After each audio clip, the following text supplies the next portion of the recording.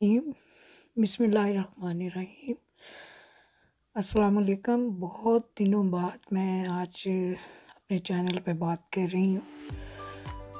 कुछ मसरूफियात की वजह से इसे टाइम नहीं दे सकी थी। और आज वैसे ही दिल चाह के ऑटम के कलर्स पे बात की जाए। आई बिलीव इन कि पहाड़ से ज़्यादा खूबसूरत फिजा होती है। इसका मुझे अंदाज़ा कैंडा आके हुआ था क्योंकि यहाँ इतने खूबसूरत रंग होते हैं फिजा के, और ये पत्ते जो हैं जब जड़ते हैं तो ये कुदरत का एक ऐसा निज़ाम है, जो हमें ये सिखा रहा है कि ज़िंदगी जो है वो तब्दील तभी होगी जब आप अपने पास से जान छुड़ाएँगे। जहाँ भी कहीं आपका माजी आपको जकड़े हुए हैं या आपको खींच खींच के वहाँ दोबारा लेके जाने की कोशिश कर रहा है तो वो वहाँ तब्दीली नहीं आ सकेगी। तो कोशिश करें कि उन तमाम बुरी यादों से, उन चीज़ों से लापरवाह हो जाएँ। वो कहते हैं ना कि अगर आगे बढ़ना है तो फिर सब कुछ भूलना होगा। जो भी कोई कहता है, वो उसकी अपनी सोच है। अब वो करें जो आपको, आपके दीन ने जो भी आपका दीन है, उसमें आपको उसकी कोई वैल्यू नज़र आती है। लोगों के कहने से कुछ नहीं होगा। वो तो पैगंबरों को नहीं बख्शते, नबियों को नहीं उन्होंने बख्शा था। तो हम लोग कौन हैं? तो हर बंदे की अपनी राय है, हर बंदे की अपनी ज़िंदगी है, और हर बंदे की कल को कबर भी अपनी ही बननी है, और उसने अपनी कबर में जाना है। और उसने अपना हिसाब देना है, उसने किसी दूसरे का नहीं देना।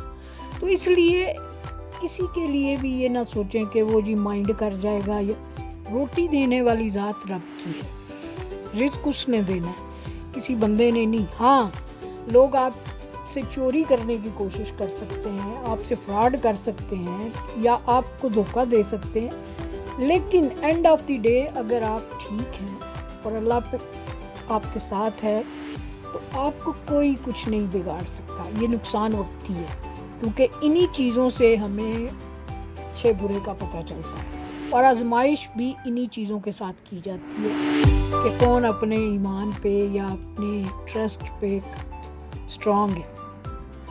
तो अपने लिए वो चीज़ चूज़ करें जिससे आपका दिल मुतमिन है, क्योंकि जहाँ आपका दिल मुतमिन होगा, समझें कि वो जगह ठीक है। जहाँ आपका दिल ही मुतमिन नहीं है, उस चीज़ पर कभी यकीन ना करें। क्योंकि ये एक मानी हुई बात है कि वाइब्स जो हैं, वो आपको ऑटोमेटिकली सेटिस्फाइड कर देती है। और जहाँ भी डाउट होगा, वो डाउट बाहर आएगा चाहे किसी के साथ भी हो। क्योंकि अल्लाह ताला ने नसीहत या हदायत सिर्फ़ उन्हीं को देता है जो हदायत मांगते हैं। जो हदायत में आना ही नहीं चाहते, उनको कोई भी हदायत नहीं दे सकता।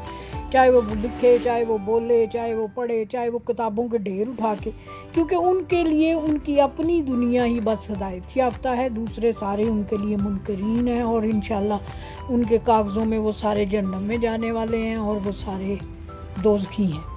तो ऐसे लोगों का ईमान इस चीज़ से अंदाज़ा करें कि जब हमारे मजहबी किताबों में ये चीज़ है कि अगर कोई मुसलमान हो जाता है, कोई काफर भी हो, कलमा पढ़ के उसका सारा पिछला मामला माफ़ हो जाता। है तो जो हो ही मुसलमान या जो भी उनके अकायद हैं, हम इस पर बात नहीं करना चाहते। लेकिन यह कि अगर वो तोबा ताइब करके कोई सीधी राह पे आता है तो उसका माजी खींच खींच के उसको ला ला के दिखा के, उसको ब्लैक में, इसको कहते हैं ब्लैक मेल करना। यानी आप अपने ईमान से गिर गए हो कि आपने अगर कोई सीधी राह पे आ गया था या आना चाह रहा था तो आपने उसका माजी उसके सामने ला के खड़ा कर दिया है। तो रब तो फिर रब्बुल आलमीन है, वो तो सबको रोटी दे रहा है, वो तो किसी की भी बंद नहीं कर रहा। अगर ये बात हो तो फिर तो सारे जो हमारे मज़हब के या कायद के नाम, वो भूखे मरना शुरू हो जाए। तो अल्लाह हमें हदायत दे, हमें आसानियाँ बांटने वाला बनाए, दूसरों की ज़िंदगियाँ में मुश्किल इकट्ठी करने वाला ना बनाए, और ख़ुद को हम सारे, कोई बात है, हाजी सनाउल्ला बनाते हैं और दूसरों को हम बना देते हैं कि वो बुरे हैं। ये तो रब का काम है, उसको करने दे और वही करेगा। ये किसी इंसान के करने का काम नहीं है। बहुत शुक्रिया, बड़े दिनों बाद आज दिल किया था बात करने से। आप दुआओं में याद रखिएगा और अल्लाह ताला हम सब की ज़िंदगियों में आसानियाँ करे, हमारे बच्चों के लिए अच्छा करे। और हर वो शख्स जो किसी फोरम पे बैठ के कोई बात कर रहा है या जिस तरह भी, जैसे भी कर रहा है इसका मकसद उसका ये नहीं है कि वो लोगों को अट्रैक्ट करना चाहता है या उनके साथ कोई गलत मतलब रखना चाहता है। ये हमारी सोच की बात है सारी। और जो मेच्योर लोग हैं या जिनके कुछ दिमाग खुल चुके हैं, जिस तरह की जगहों पे हम हैं बैठे हुए तो यहाँ लोग इस चीज़ को अप्रिशिएट करते हैं अगर कोई उनको कोई गाइडलाइन देता है। ये नहीं करते कि पहले उससे कोई फ़ायदा हासिल कर लिया और फिर उसकी ज़िंदगी ही जहन्नम बनानी शुरू कर दी, ये बड़ी बुरी बुरी नेचर की निशानी हमेशा वो कहते हैं ना, जिसके साथ नेकी करो, उसके शर्ट से डरो, हज़रत अली का कॉल है। तो यहाँ यकीन करें, यहाँ आके देखा है कि लोग एक छोटी सी चॉकलेट किसी को दे दें तो लोग उस पर भी शुक्रगुजार होते हैं। लेकिन हमारी ज़िंदगियों में हमने जिनके साथ इतनी इतनी नेकियाँ की होती हैं, कुछ ऐसे लोग हैं जो कि वो कहना चाहिए कि वो जान के दुश्मन बने हुए हैं। अल्लाह ताला से बस यही दुआ है कि अपनी हिफाजत में रख। किसी भी इंसान की मोहताजी से बचा और स्पेशली ऐसे लोगों की मोहताजी से या ऐसे लोगों के शर से महफूज रख, जो ज़ाहरी तौर पे तो बड़े दोस्त बनने की कोशिश करते हैं या हमारे बड़े हैर खा नज़र आते हैं, लेकिन हकीकत में वो हमारा ही बेड़ा गर्क कर रहे होते हैं। क्योंकि उनको, हर बंदे को दूसरे में वही नज़र आता है जो वो खुद है। ये एक बड़ी मशहूर बात है कि उसने अगर आप अच्छाई देखी है तो उसका मतलब है आप इतने अच्छे नहीं हो, वो अच्छा है। और अगर उसने आप बुराई ही सिर्फ़ देखी है तो इसका मतलब है कि बुराई उसमें है, आप में इतनी शायद ना हो। कोशिश करें दूसरों की अच्छाइयों पे नज़र रखें, उनकी बुराइयों पे नज़र ना रखें। कि अल्लाह ताला ने हर एक इंसान को इंसान बनाया वो कोई फरिश्ता तो है नहीं कि उसमें सारी चीज़ें ही अच्छी हों।